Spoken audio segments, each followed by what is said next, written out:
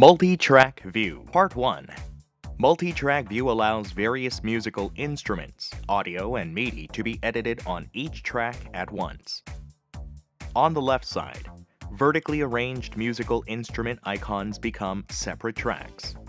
Press Add to add new musical instruments on a track.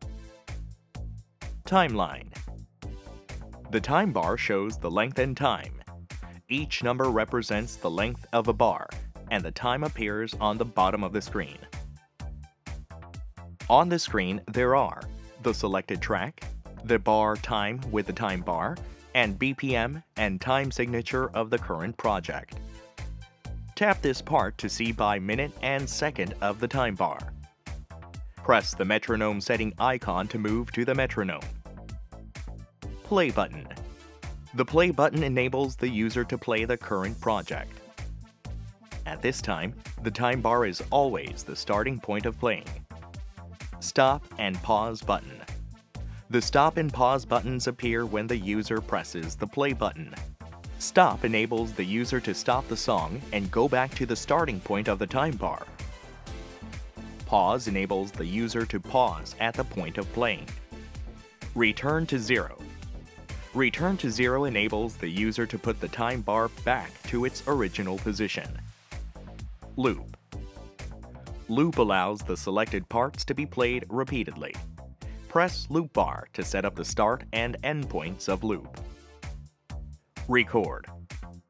Record allows the selected track to be recorded. The current location of the time bar is the starting point of recording. Go To. The Go To button enables the user to see the currently opened musical instruments.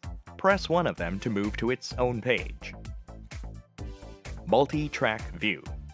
Any page of SoundCamp can be switched from the current view mode into multi-track view mode. Mixer view. Press Mixer view to switch from the current view mode into Mixer view mode. Metronome on off. When the button turns green, the metronome plays its sound while playing or recording. Undo. Undo enables the user to undo the most current changes. Redo. Redo enables the user to redo the cancelled changes. More. The user can set up more in-depth in More menu. Edit Tracks. Edit Tracks enables the user to delete or change the location of a track. The user can also press and hold to start Edit Tracks. Save Project. Save Project enables the user to save the current project Import MIDI or audio files. Import MIDI audio files enables the user to import a MIDI or audio file on the user's device to a track. Export as MIDI audio files. Export MIDI audio files enables the user to export the current project to a MIDI or audio file. Create as a file.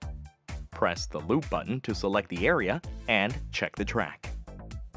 The bottom of the multi-track view can be controlled and displayed with the current track information. Freeze. Freeze enables the user to freeze the currently selected track.